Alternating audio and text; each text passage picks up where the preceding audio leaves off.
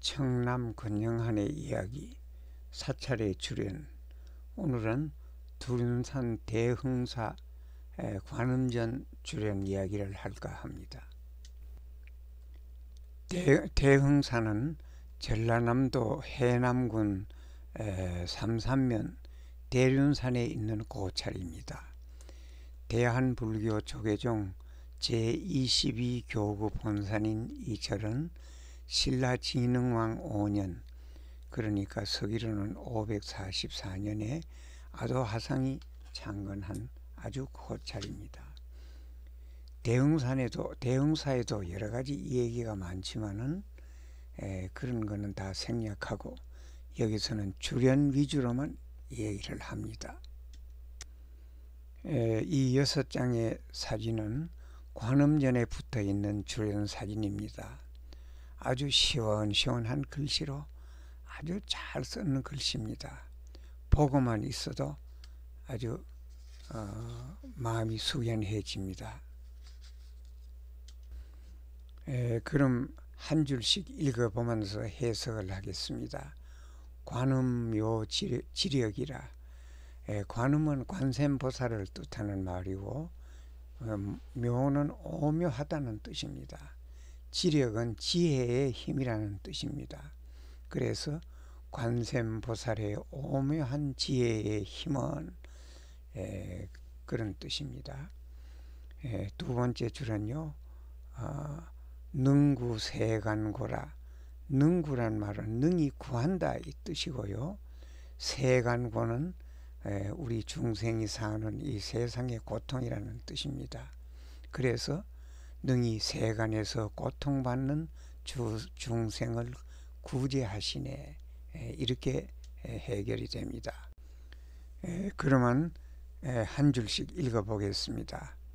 구족 신통역하니 하는데 구족이란 말은 구비하고 족하다. 즉 모든 것을 다 완전히 구비하고 어, 이루었다 그런 뜻입니다.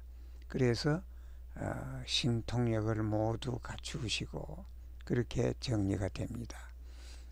그 다음 광수 지방편이라 광수는 넓게 닦았다. 즉 수행을 해서 모든 공부를 전부 넓게 닦았다. 그런데 뭘 닦았느냐 하면은 지방편이라 지혜와 방편을 닦았다. 그런 뜻입니다. 그래서 정리하면은 널리 지혜 방편을 닦으시며 이렇게 정리가 됩니다. 다음은요. 시방 제국토라 시방이란 말은 온 세상이라는 뜻입니다. 제국토는 말 그대로 모든 국토, 모든 나라 그런 뜻입니다. 그래서 온 세상 국토 모든 사찰에 그렇게 정리가 됩니다.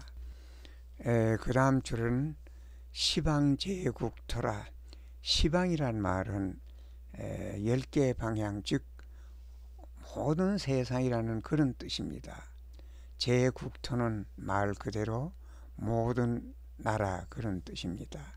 그래서 연결하면은 온 세상 모든 국토 모든 사찰에 그렇게 정리가 됩니다. 무찰 불현신이라 요 짧은 다섯 개의 글자 중에 없을 무자하고 아닐 불자 즉 부정사가 두 개가 들어 있습니다. 그래서 이거는 하고자 하는 말을 더 강조하고자 이래 했는 겁니다. 에, 찰은 사찰이란 말이고 현신을 나타난다는 말입니다. 그래서 절에 꼭 나타나신다 이런 뜻을 에, 무찰 불현신으로 해서 에, 나타나지 아니한 곳은 없다 그렇게 에, 나타나신다는 걸 강조했는 말입니다. 그래서 정리하면은 나투시 아닌 않는 곳 없으시도다 에, 이렇게 정리가 됩니다.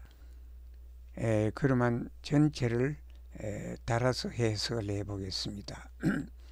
관세음보살의 오묘한 지혜의 힘은 능히 세간에서 고통받는 중생을 구하시네.